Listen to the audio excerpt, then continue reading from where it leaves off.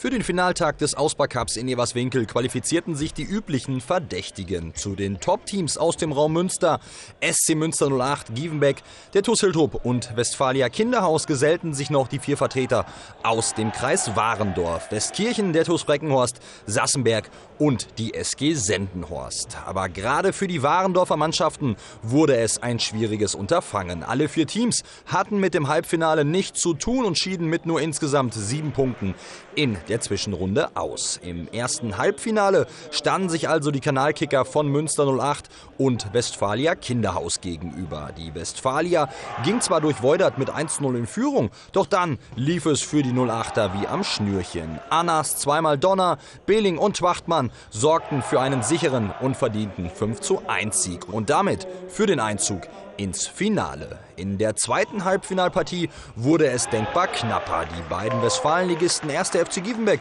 und der TuS Hiltrup standen sich dort gegenüber. Das Team von Trainer Martin Kastner behielt die Oberhand und zog mit einem 2 zu 0 ins Endspiel ein. Die Paarung des Finals hieß also SC Münster 08 gegen den TuS Hiltrup. Und auch hier war nur ein Tor das Zünglein an der Waage. Diego Castro markierte den goldenen Treffer und holt damit mit dem TuS Hiltrup zum dritten Male nacheinander die Trophäe des Ausbaucups.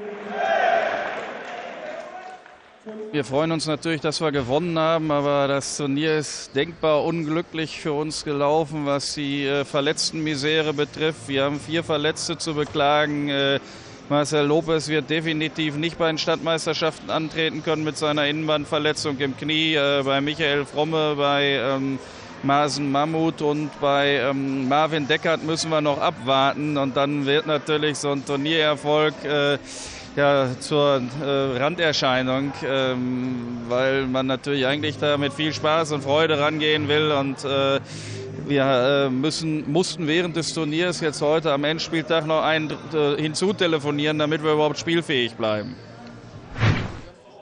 Nur zwei Tage später fand in Nienberge die Endrunde des LEG Cups statt. Und auch hier boten die Kicker des SC Münster 08 trotz der Finalniederlage in Everswinkel eine ganz starke Vorstellung. Als Gruppenerste zog das Team von den Trainern Thomas und Andreas Höppner ins Halbfinale ein. Gegner dort war der Kreisligist Concordia Albachten. Und der Klassenunterschied zeigte sich auch im Ergebnis. Münster fegte Albachten mit 6 zu 0 vom Feld und zog damit ins Endspiel ein. Gegner dort war der SV Herber Bayern, die im anderen Halbfinale Westfalenligist BSV Ruxel mit 7 zu 6 im 9-Meter-Schießen bezwingen konnten. Ja, und im Finale stellten die 08er schon früh alle Zeichen auf Sieg. Timo Schwachtmann und Clemens Donner sorgten für das 2 zu 0. Am Ende hieß es durch Höppner und Speerschneider sogar 4 zu 1 für den SC und damit verteidigte der SC Münster 08 seinen Titel beim 28. LEG Münsterland Cup in Nienberge. Das ganze äh, System bei uns lebt ja von der Disziplin und von der Organisation, die von der Defensive ausgeht. Und da muss man stabil sein, sind wir. Und ähm, darauf kann man dann eben aufbauen und die Spiele dann für sich entscheiden.